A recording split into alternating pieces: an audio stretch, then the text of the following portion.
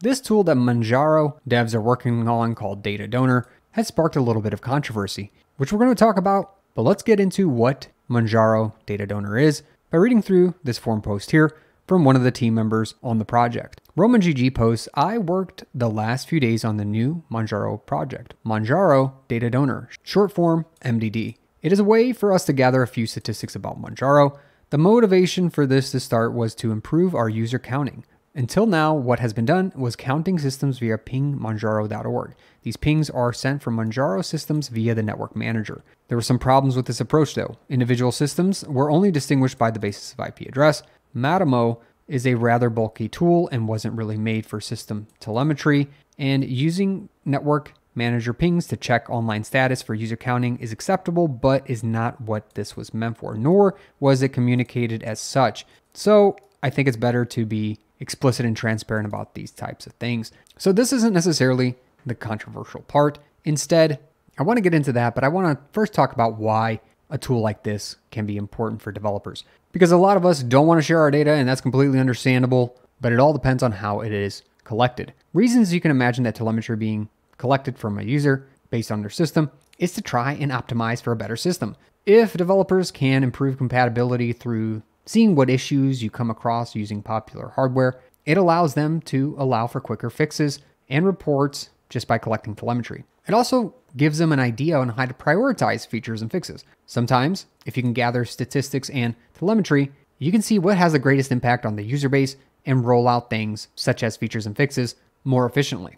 Another reason is to optimize the user experience. Getting information about resolutions, desktop environments, package usage, all that fun stuff helps change up the default experience and tailors software to meet most user preferences. Understanding system usage patterns is another good reason. Better debugging and feedback, including testing, especially seeing bugs and crashes occur in the real world, are all reasons why you may want to collect usage data and statistics. Not saying that that's what this Manjaro data donor is going to do, at least not gather all that type of information, but they did say accurate user counting, improve hardware insights, would be things that they focus on with this data donor.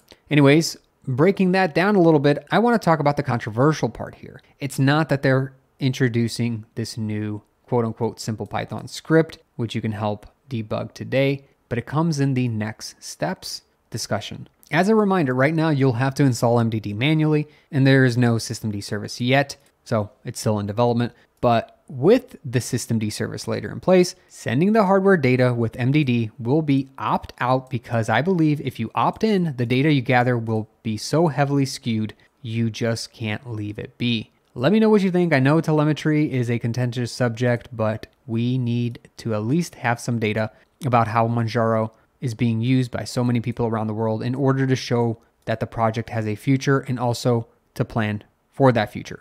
And the controversial part is the opt out nature. People are worried about the fact that this creates privacy concerns, transparency, and trust issues right after one of the major things being it's better to be explicit and transparent.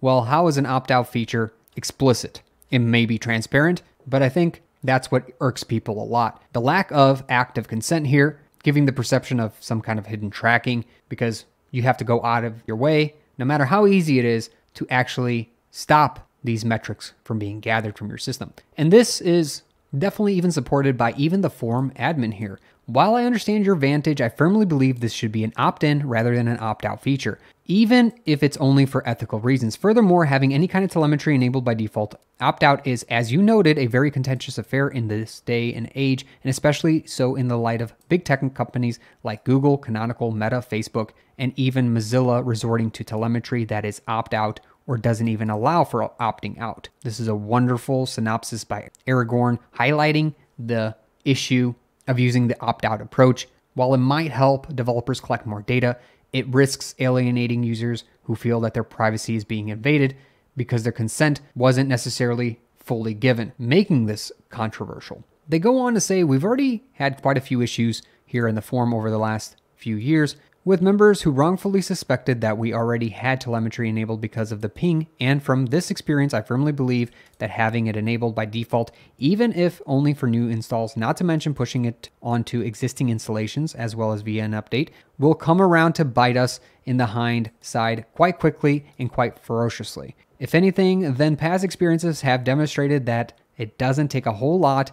As a matter of fact, a storm in a teacup is already enough for Manjaro users to jump ship to Droves and leave Manjaro to Arch proper, Endeavour OS, Garuda, or other similar distributions. I think this issue is worth serious contemplation, and especially so as Philm gave the members his word that my upcoming telemetry features in Manjaro would be opt in only, which is also how KDE does it, by the way. So that's how the Manjaro data donor became such a contentious subject right off the bat. For those of you who are Manjaro users, what do you personally think? Should it be opt in or opt out? I'm going to leave it to you in the comment section below. I'd love to hear from you. And then anyone outside of Manjaro, what are your thoughts on opting in versus opting out? Do you see the developer side? Do you see the user side? I'd love to hear from you as well. But I'm going to give my thoughts real quick. I think this can be much less controversial by just clearing up some of the communication and explicitly asking the user with an opt in model. It gives control of what data a person wants to share, which the Linux community is highly behind. So, in my opinion, the opt in model is the only one that makes sense here. I personally would not want to give my data to Manjaro if I was using it, and it would be a reason that I would perhaps switch to another just for the fact that I would feel slighted if I forgot to opt out. Anyways, love to hear from the community. If you haven't already, subscribe below. I know a lot of you enjoy watching the videos, but you don't necessarily get notifications from me. Support me by hitting the like button, catch me in a great community on Discord, and I'll catch you in another video. Thanks for watching. Linux can be hard to understand, but I take the most commonly used terms, commands, and subjects in Linux and I break them down into simple to read documents, including Linux terms, flashcards, a checklist, a cheat sheet, and a mind map. And if you're ready to level up your Linux experience and knowledge, go to learn.savvynik.com now and get access to these sheets.